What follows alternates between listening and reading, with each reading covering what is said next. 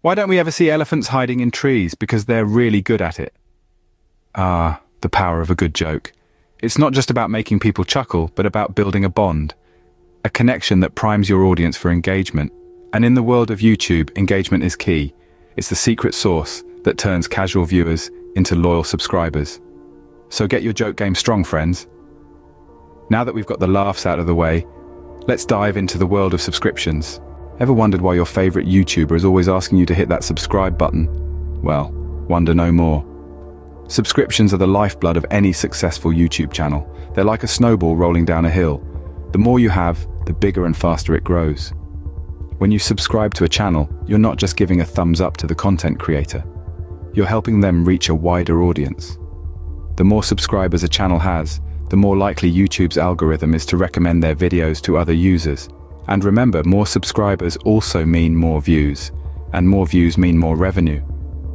Yes, those ads you see before your favorite videos, they're not just there to annoy you, they're how YouTubers earn their living. So, subscriptions are important for growth, visibility, and earnings. Sounds important, right?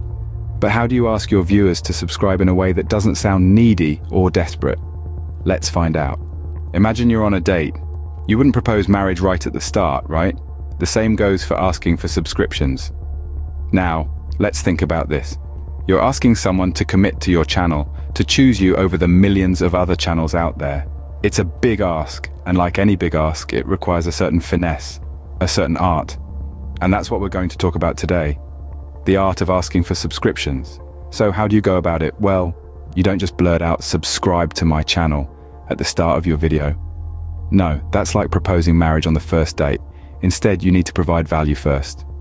Think of your video as a mini relationship. You want to woo your viewer, make them laugh, make them think, make them feel, give them something they can't get anywhere else. Only then, when they're fully invested in what you're offering, do you pop the question. And when is the best time to ask?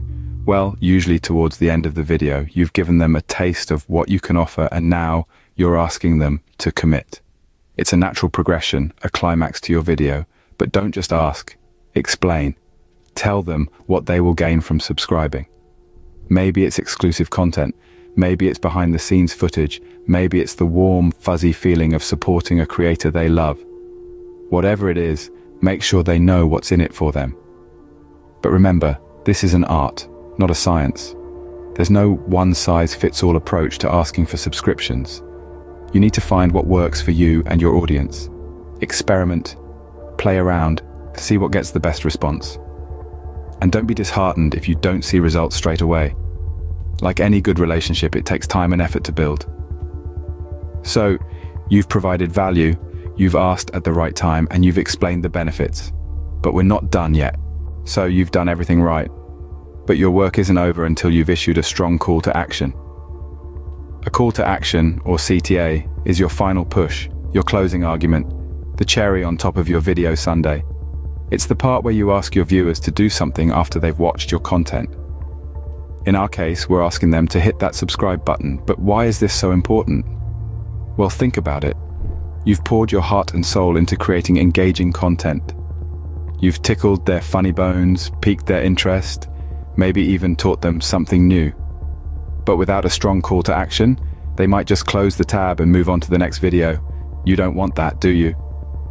So, Make your call to action compelling. Don't just ask them to subscribe. Tell them why they should. What's the value in it for them?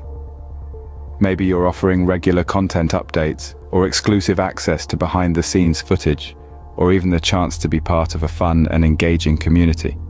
For instance, you could say, don't forget to subscribe for weekly laughs and hit that bell to be the first to know when we drop a new video. Join our community and let's keep the good times rolling. And there you have it. The art of asking for subscriptions. Remember, it's not about begging, it's about compelling your viewers to hit that subscribe button because they see the value in your content. Now, speaking of subscriptions, before we wrap up, there's something I'd like to ask. Can we count you in for more laughs, insights, and how-tos? Subscribing lets you stay in the loop with our content, never missing a beat.